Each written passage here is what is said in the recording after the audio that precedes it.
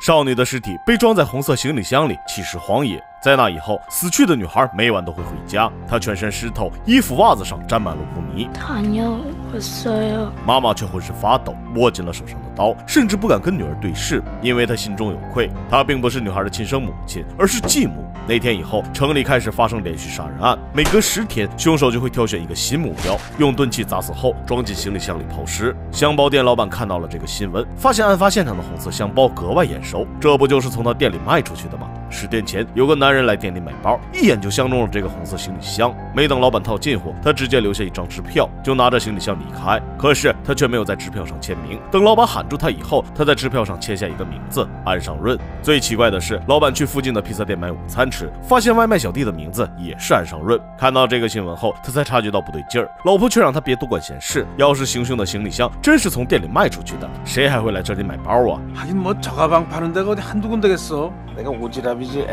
外卖小哥安尚润也看到了这个新闻，他想起了十天前给一个老主顾送披萨外卖，这个大叔总是黑着一张脸，只打开门缝，可是竖着把披萨递进去，上面的酱料就会洒下来，大叔才开了门。就在他蹲下放东西的时候，突然听到地下室里传来了东西倒下的声音，他本想问一句，顾客却把他立即赶出了门。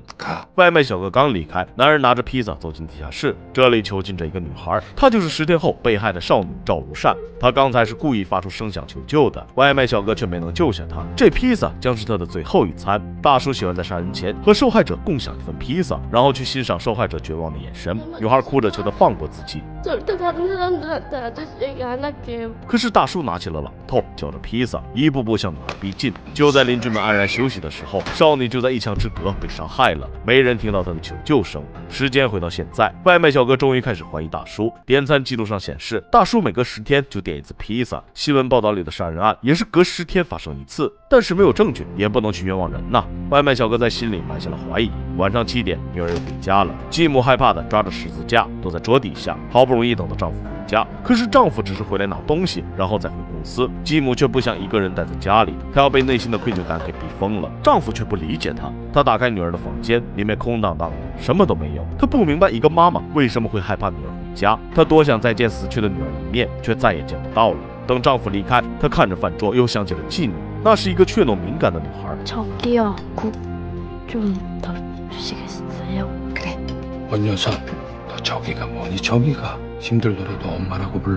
其实她很想和卢山亲近，心里已经把她当成了女儿。可是他们再也没有了相处的机会。自从小区发生了杀人案，居民们都很害怕，而且这里的垃圾分类做不好，被上头点名批评了。居委会大妈特意嘱咐老保安，一定要仔细检查小区里的垃圾。而黄保安是个老油条了，总是找着机会就偷懒。但在大妈的监督下，他还是立即去垃圾处理点，把这里的垃圾袋一个个拆开检查，竟然让他发现了一个散发着腐臭味的黑色垃圾袋。小区里的厨余垃圾是要分类的，他在袋子的另一侧找到了这个垃圾袋的主人，是十一栋一零二房。오늘他拿着垃圾袋就要罚款。可是他没想到自己为了一杯米酒钱竟然惹上了变态杀人狂哪还记得这袋垃圾让他赶紧走。黄保安有点气愤当场就拆垃圾袋想看一下里面到底藏了啥玩意儿。等杀人狂反应过来时黄保安已经打开了袋子里面竟然是一件带血的校服。校徽上正写着凶杀案被害少女的名字。黄保安就这样弄了便当。此时杀人狂的邻居刚回家他刚进门就发现了楼梯滴血被吓了一跳。抬头才看到是红酒碎了。男人正在一边清理污水一边打电话，他小心翼翼的避开酒水上楼。可就在这时，男人的家中竟然响起了另一个铃声。邻居回头看了一眼，发现男人在恶狠狠的盯着他，便不敢多问。这个铃声是小区另一个保安大叔打给黄保安的，但电话一直没人接听。针对杀人案一事，小区决定周末开个业主会，还要在楼里安装监控。居委会大妈特意来找男人签同意书，杀人狂准备搬家了，所以不签这玩意儿。大妈却发现这个屋子被他住成了垃圾堆了，指责他没有爱护好房子。他一边检查，还要在旁边指指点点，把杀人狂惹恼了。他偷偷拿起一个中国工艺品，想把大妈也嘎了算了。可就在这时，大妈刚好接起了电话。 어, 지은 엄마.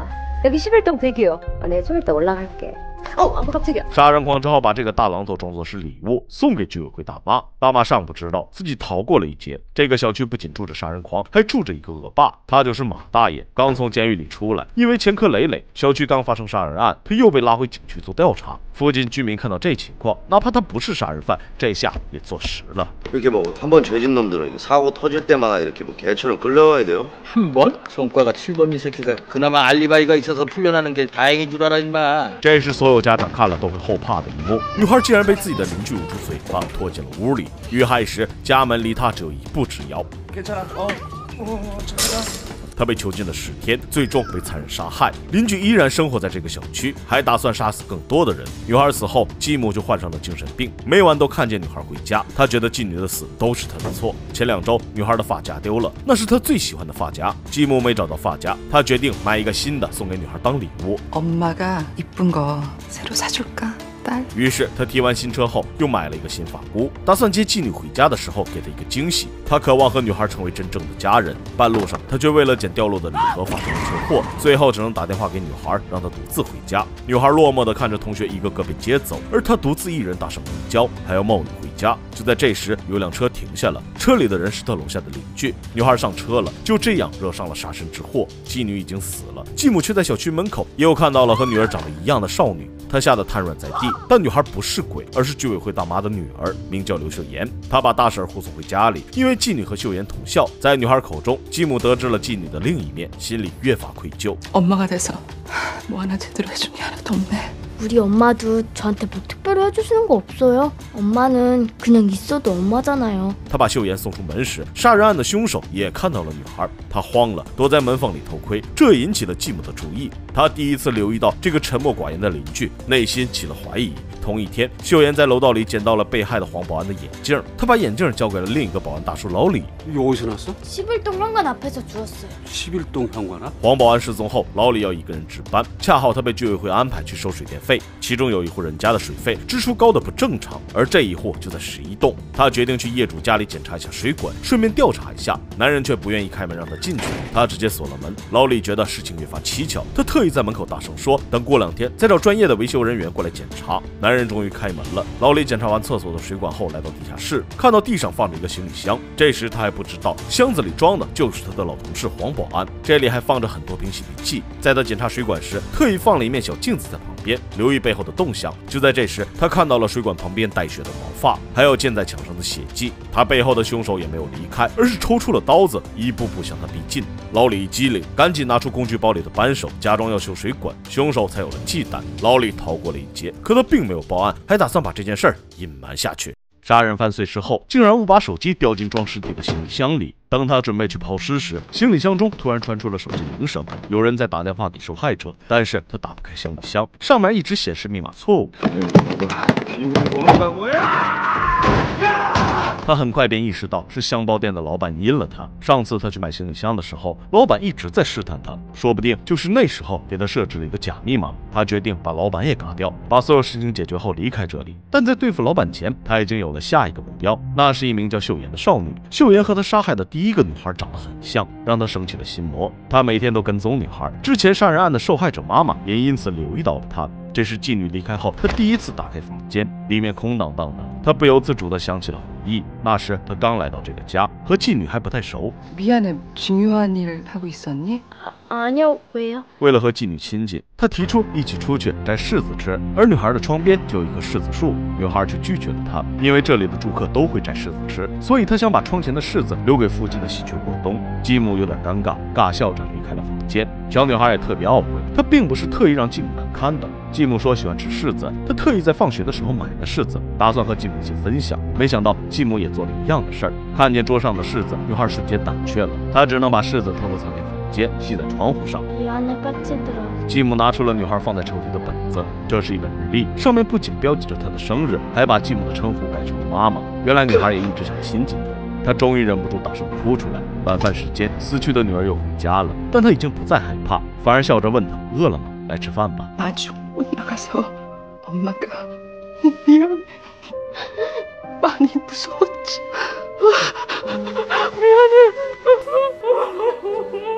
마주 못 나가서 엄마가 미안해. 많이 무서웠지. 미안해. 另一边，杀人狂每天都跟踪女孩，等她落单。但无论女孩多晚回家，他的妈妈都会准时来接。他一直没找到机会，为了泄愤，他决定先解决香包店的老板。 아저씨 누구? 누구긴 씨. 내 이름도 잘 알잖아 안상윤이 他把老板打晕，带回自己的地下室。深夜，披萨店又接到了订餐信息，杀人狂像往常一样吃完披萨再杀人。外卖小哥送完餐后，发现大叔给的纸币上竟然沾着血， 他感觉不太对劲儿于是趴在杀人狂的窗台上偷窥他的头盔撞在栏杆上发出了动静。杀人狂猝不及防的向他扑过来。这时手电筒的光照在杀人狂脸上竟然是保安老李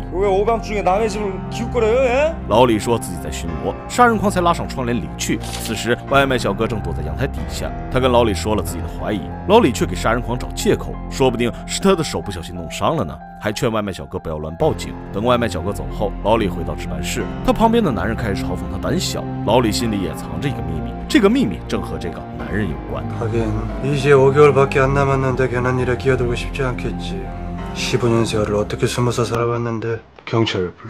他是韩国第一猛男，不仅打得了丧尸，还治得了杀人狂。马大爷是小区里大名鼎鼎的恶霸。今天他发现自己停的残疾人车位竟然被人占了，占车位的车主是个杀人狂。恶霸上门时，他还在家里冲洗血迹，被敲门声吓了一跳。得知恶霸的来意后，为了不滋生事端，他立即下去挪车，却发现自己的车窗竟然被吐了一口痰。这下他可忍不了了，准备进行洗巴攻击。可是看着恶霸的大花臂，他立马怂了。恶霸是个放高利贷的，而他今天的催款对象竟然是自己的亲舅舅。舅舅打亲情牌， 너 내가 빵에 있을 때 면회를 와봤어. 우리 엄마 죽었을 때 新来的，他真的不就是。他把舅舅暴揍了一顿，小区里的人都很怕他，因为恶霸三天两头进群子，大家都觉得他不是个好人。这天晚上，恶霸在睡梦中被电话惊醒了，杀人狂竟然叫他下楼挪车。等恶霸下楼后，还不停挑衅对方打他。恶霸是个暴脾气，当即抢了他的棍子，把他狠狠揍了一顿。杀人狂在抱着腿求饶。等恶霸走后，杀人狂的脸上却露出了得逞的笑容。他不是来求虐的，为了报复恶霸，他决定把自己身上的杀人案嫁祸给对方。回到地下室后，他戴着白手套，小心翼翼地擦干净棍子上的痕迹，再把它安装到铲子上，凶器上便有了恶霸的指纹。接着，他又掏出香包店老板的手机，蹭上衣服上恶霸吐的那口痰液，一场嫁祸就完成了。他把手机扔进行李箱里，然后逼香包店老板把另一个行李箱的密码说出来。但是老板知道自己一旦说出了密码，就真的没命了。除了老板，杀人狂还有另一个目标，就是同小区的一个女孩。每次见到女孩，他都会做噩梦，因为这个女孩和他杀死的第一个受害者长得一模一样。为了抓住女孩，他想办法支开了女孩的妈妈，让她独自回家。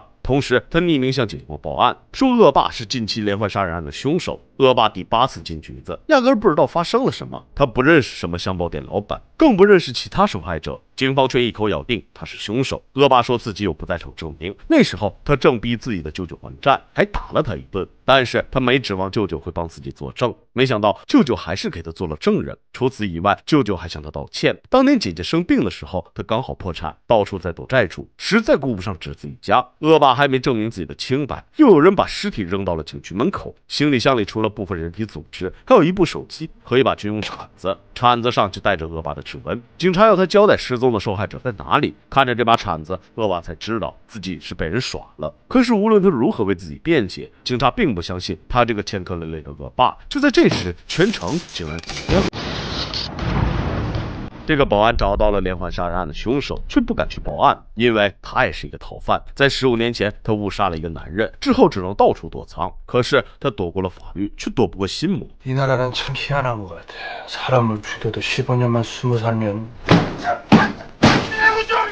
只要他再坚持五个月，就能无罪释放。死去的男人却一直在他身边看着他，他心里的负罪感从未消失。他害怕杀人狂被警察抓到时，自己也会被捕，所以他跑了。可是，在他离开的路上，却看到了杀人狂被捕的消息。然而，警方抓到的并不是真正的凶手，凶手的新目标是一个女孩。在在躲藏了十几年间，女孩是唯一一个关心他的人。为了救女孩，他还是回到了小区。外面正下着大雨，香包店老板被绑在地下室里。他突然听到了手机铃声，是行李箱。里传出来的。杀人狂无法打开这个行李箱，但他知道行李箱的真正密码。他用舌头把数字调到正确位置，用头使劲撞向行李箱。数次以后，终于把它撞开了。为了活着，他使出了所有力气，成功把手上的绳子也解开了。可是手机快没电了，他第一反应就是打电话回店里求救。没说上两句，手机便自动关机了。幸好外卖小哥刚好接到了这个电话，他早就怀疑自己的老主顾是个杀人狂。男人每隔十天点一次披萨，命案也是隔十天就发生一次。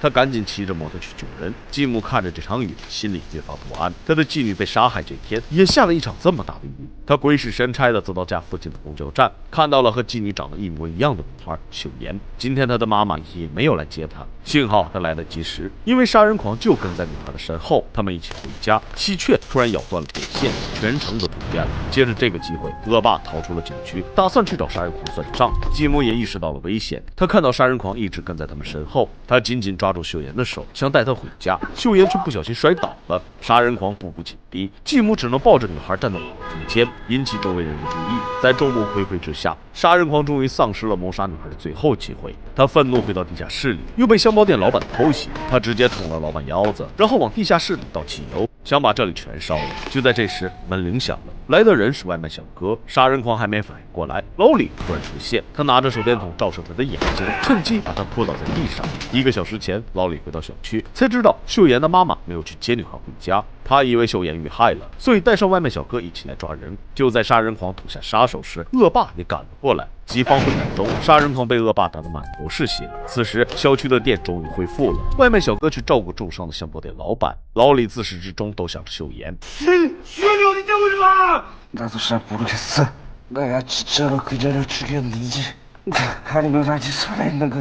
秀妍어디있다고그러나도잘모르겠어내가진짜로그자를죽였는지아니면아직살아있는건지杀人狂也有心魔，他看到秀妍就会想起自己杀害的第一个女孩。他觉得女孩化成了鬼魂来找自己复仇。老李以为秀妍已经死了，最终恶意战胜了一切。反正他已经杀过一个人了，再杀一个也没什么区别。他拿起杀人狂常用的凶器，直接打爆了他的头。좋은방법이하나있기는한데왜그래잘알면서한번해봤잖아 大家都迎来了自己的救赎。香包店大叔凭着自己的求生意志，终于活了下来。继母救下了另一个女孩的生命。恶霸证明了自己的清白，也和舅舅和解了。老李在阶梯上看到秀妍没有受伤，便离开了。他还要再躲藏五个月。可是过了诉讼期后，他真的能走出杀人的阴影吗？生活还在继续。继母不再害怕女孩的鬼魂，是在那以后，他再也没见过妓女。香包店老板捡回了一条命，做生意更加谨慎小心。他不明白，杀人犯把自己关在地下室后，为什么没有力气杀死他，而且吃饭睡觉都要在他身边，仿佛在害怕着什么。杀人狂只是和继母一样，看见了鬼魂。每天晚上，女孩都会出现在地下室里，再走出这个黑暗的地方，回到自己的家。